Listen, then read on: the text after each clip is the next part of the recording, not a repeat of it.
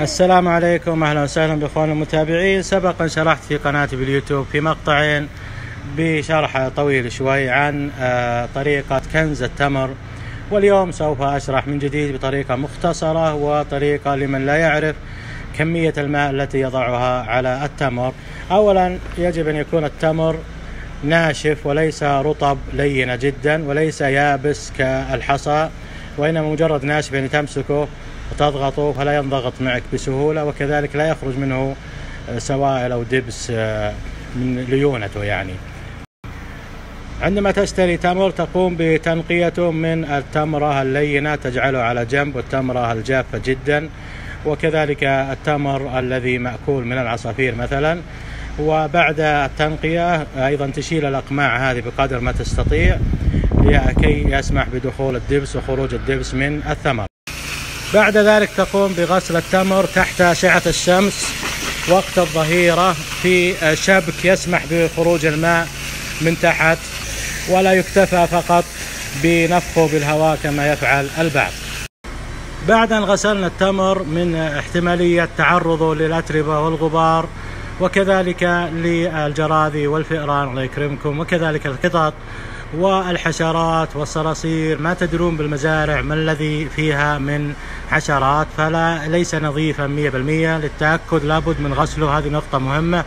والغسل يكون بضخ قوي وسريع حتى لا يتعرض التمر للتلف. وكذلك آه، يعرض بالشمس. يكون وقت الظهر من الساعة واحدة الظهر.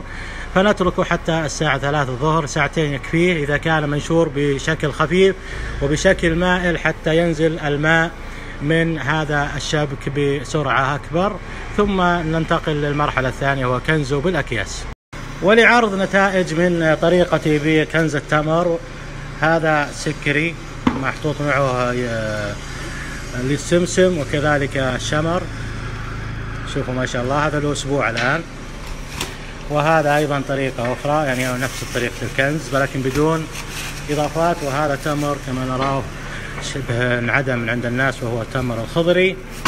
وهذا الخلاص كله الحمد لله من إنتاج مزرعتنا لمن يتابع سناباتي وفيديوهاتي عن طريقة عنايتي بالمزرعة. هذه النتيجة هذا الخلاص وهذا كنزه ويلاحظ الدبس. ما شاء الله موجود والكنز وكله بالبيت شغل نظيف وشغل مرتب وغير متعب وممتع إلى كميات قليلة ولله الحمد. تابعونا في إكمال هذا المقطع. أهلا بكم أخوانا المتابعين. بعد ما غسلنا التمر وتركناه منشورا تحت أشعة الشمس لمدة ساعتين ونصف إلى ثلاث ساعات أخذناه على طول مباشرة من الشبك الأصفر اللي كان فيه إلى الكيس مباشرة بدون إضافة أي مياه. وهذه هي الطريقة التي أحببت أن آه، أخبركم بها خاصة لأن في كثير من المتابعين يقول أنا لا أعرف مقاس التمر الماء إضافته للتمر. فهذه الطريقة سهلة وناجحة الحمد لله. وتستطيع أن تتعامل بها مع جميع أنواع التمر بحيث أنك تغسله وتنشره بالشمس حتى يلين وحتى يجف قليلا من الماء ثم تضعه مباشرة ونلاحظ هنا أن الدب طالع من بداية الأمر. لاحظ أن الكيس غير ممتلئ لبعض الناس يملى الكيس أنا طريقتي ما أملى الكيس أترك ثلث الكيس الأعلى فاضي علشان إذا رصيناه ما يكون الكيس متين إذا رصيته وإنما يكون الكيس آه، يعني سمكه قليل حتى يتناسب مع حجم الحجم الكيس ويخرج الهواء بالكامل منه. في نفس الوقت آه، عملية الرص تكون سهلة خاصة في المنازل. لا يوجد عندكم أثقال. في المصانع عندهم عندهم يعني مكابس هيدروليكية أو عندهم آه، خزانات ماء وزن الواحد منها عشرة طن.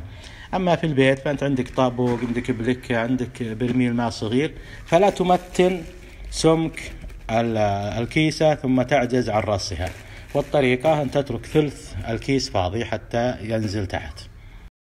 بعد ما انتهينا من ربطة الأكياس نقوم برصها بأي أشياء عندنا. ممكن نرصها أهم شيء يكون كل أربع أكياس عليها ثقل لا يقل عن 30 30 50 كيلو برميل ماء شيء يعني بلك.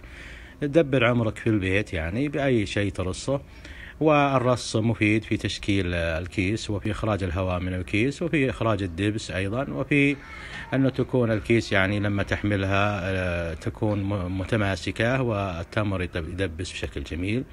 ويكون الرص في الشمس في آه، لمدة خمسة أيام مع كل وجه ثم بعد ذلك تدخلها داخل المنزل. ولا داعي لحفظ المكنوز بالفريز اطلاقا. وفي بعض الناس يقول إنه يتغير لونه هو يتغير لونه طبيعي مع الدبس ومع التفاعل هذا يتغير لونه. يعني حاليا أنا أحب النفع المسلمين وأن يعني تشترون أنتم من السوق 100 كيلو 120 كيلو مثلا خلاص وتجي 14 كيس وتكفيك وتكفي اهلك وتكفي والديك وتكنزها أنت في البيت. يعني كلها نص ساعة ساعة زمن وأنت مخلص.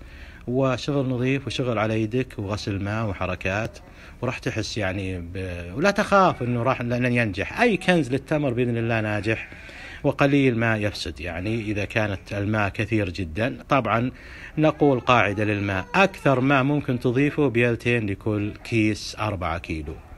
بيالتين لكل كيس أربعة كيلو. هذا أكبر كمية.